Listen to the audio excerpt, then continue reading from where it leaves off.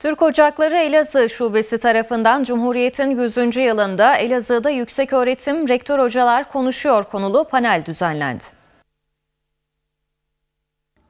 Türk Ocakları Elazığ Şubesi'nin Cumhuriyet'in 100. yılı dolayısıyla gerçekleştirdiği etkinlikleri devam ediyor. Bu kapsamda 7 Kasım Salı günü Ahmet Tevfik Ozan Kültür ve Kongre Merkezi'nde Cumhuriyet'in 100. yılında Elazığ'da Yüksek Öğretim Rektör Hocalar Konuşuyor konulu panel gerçekleştirildi.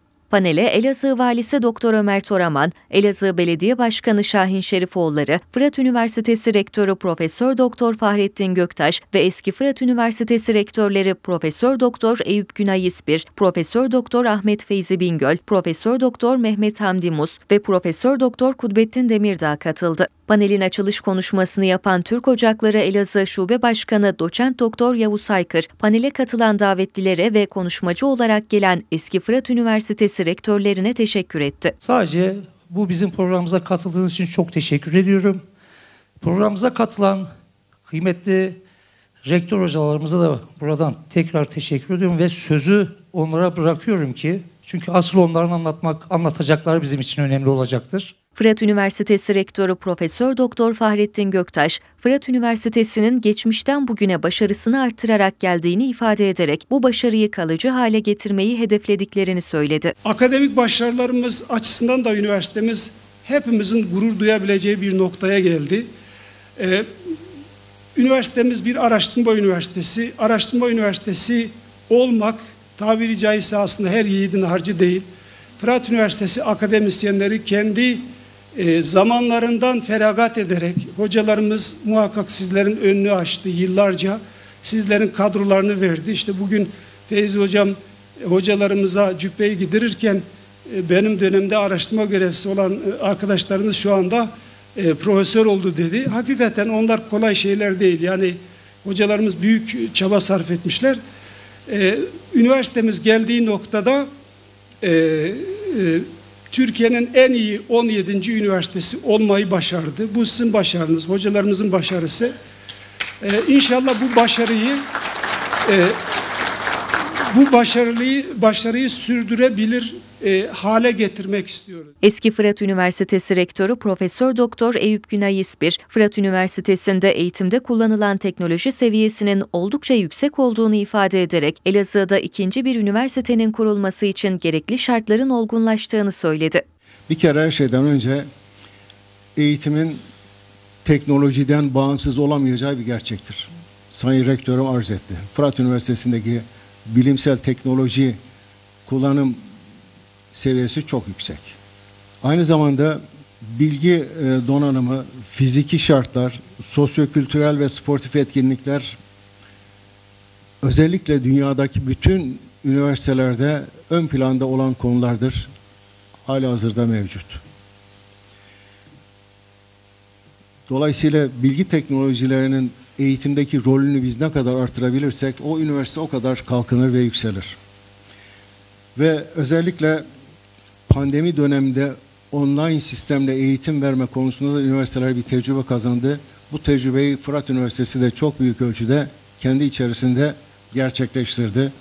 Benim rektörlüğüm döneminde de başlattığımız Elazığ'da ikinci bir üniversitenin kurulması artık kaçınılmaz hale gelmiştir. Bu şartları gerçekleştiren o Fırat Üniversitesi'nin inşallah e, temennim o ki Sayın Valimin de dirayetleriyle, Sayın Belediye Başkanımın ve bürokrasinin dirayetleriyle ikinci bir üniversitenin kuruluşunu hep birlikte kutlarız düşüncesiyle hepinizi beni sabırla dinlediği için saygıyla selamlıyorum. Panelde konuşan eski Fırat Üniversitesi Rektörü Profesör Doktor Feyzi Bingöl, Fırat Üniversitesi'nin araştırma üniversitesi olmasının çok önemli olduğunu söyleyerek Elazığ'a ikinci bir üniversite kurulması gerektiğini ifade etti. Araştırma üniversitesinin eğitimdeki şey nedir? Akademik çalışma, e, akademik eğitim öğretim. Mesleki alanlara ya da meslek elemanı yetiştirmeye yönelik eğitim değil. Esas görev o. Çünkü araştırma üniversiteleri ülkenin bilim seviyesini ve ekonomik seviyesini yükseltmede en önemli, en önemli kurumlardır. Onun için Fırat Üniversitesi'nin araştırma üniversitesi olması çok önemli ve Türkiye'nin gerek bilimsel açıdan gerekse ekonomik açıdan yani yapacakları projelerle, ya- yapacakları yayınlarla e, çok önemli yerlere gelmesinde katkısı olacaktır. Araştırma Üniversitesi bir an önce özelliklerini söylediğime göre o zaman biz ikinci bir üniversite kurmamız da şart oluyor. Böylece mesleke yönelik bölümler, meslek yüksek okulları veya diğer e, bölümler, fakülteler o fakülteye aktarılabilir ve Fırat Üniversitesi de gerçek anlamda bir araştırma üniversitesi olarak yani ağırlıklı olarak doktora, yüksek lisans ve e, tabii e, akademik eğitim dediğimiz yani araştırmaya yönelik e, e, öğrenci yetiştiren bir üniversite olur. Eski Fırat Üniversitesi Rektörü Profesör Doktor Mehmet Hamdi Mus, görev yaptığı dönemde bölge üniversiteleri işbirliği projesiyle birçok fakülteye öğretim görevlisi kazandırdıklarını ifade etti. Hocalarımız değişik fakültelerin kurulduğunu, e, yüksek okulların kurulduğunu e, ifade ettiler. Bu kurulan bölümlerde çoğu zaman öğretim üyesi sıkıntısı çekiliyordu.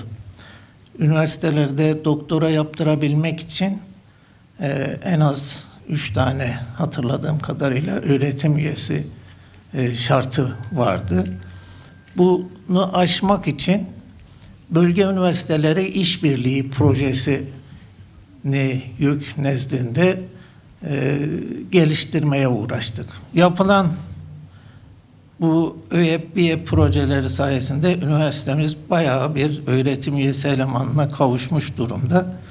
Buralarda o, o nedenle de burada yeni üniversite kurulması fikrini ben de e, canı gönülden e, destekliyorum. Eski Fırat Üniversitesi Rektörü Profesör Doktor Kudbettin Demirdağ, görev yaptığı süre boyunca üniversiteyi cazip hale getirmek için çalıştıklarını söyleyerek Elazığ'a kurulacak ikinci bir üniversitenin hedefe yönelik dünyada da ses getirebilecek bir amaçla kurulması gerektiğini ifade etti. Eğitim öğretim ana görevlerimiz. Öğrenci çekme merkezin haline getirmemiz için ne olmamız lazım? Popüler bölümlerin çok popüler e, popüler olması lazım. Diğer bir açıdan da çok iyi bir şehirde olmanız lazım. İstanbul, Ankara, İzmir gibi böyle cazibesi olan bir şehirde olmanız lazım. Öyle bir şey yok. O zaman ne yapmanız lazım?